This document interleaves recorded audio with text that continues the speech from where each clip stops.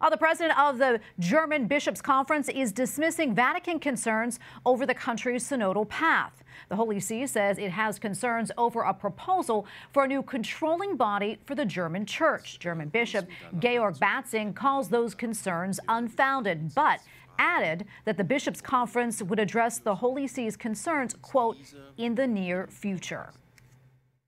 Joining us now from Rome is Rudolf Gehrig, EWTN Vatican Bureau journalist and producer. Rudolf, great to see you as always. Uh, tell us more about the letter from the Vatican. Good evening, Tracy. The Synodal Way in Germany has been under scrutiny for some time.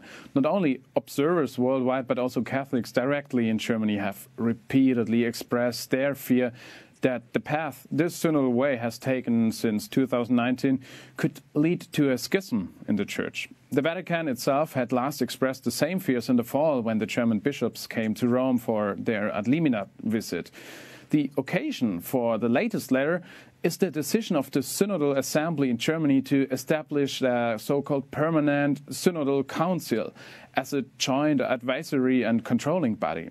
The Vatican sees in this the danger that such a construct will undermine the authority of the bishops and the work of the rightful German Episcopal Conference. And it also actually contradicts church law. And what were some of the specific concerns?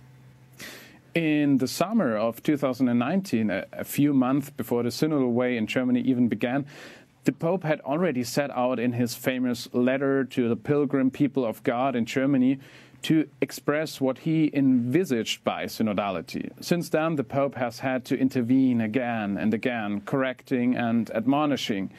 In yesterday's letter, therefore, there's a decisive sentence. It, I quote, the Holy Father has approved this letter in forma specifica and has ordered its transmission.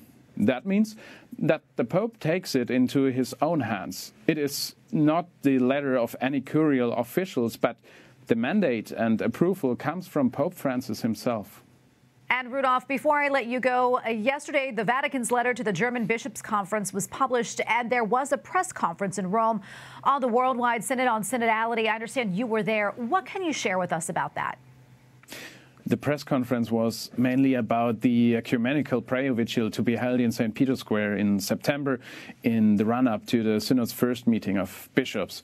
In the press conference, I had the chance to ask a question of the Synod's general relator, Cardinal Jean Claude Hollerich. He told me there is no plan. There is a listening to the Holy Spirit as the Holy Spirit expresses himself in the life of people in his church. So the bottom line is that we know, along with the Vatican's letter to the German bishops, what synodality is not. However, where the synod on synodality will lead, time will show us, and according to Cardinal Hollerich, hopefully the Holy Spirit. All right, Rudolf, thank you so much. Rudolf Gehrig, EWTN Vatican Bureau journalist and producer. Thank you again.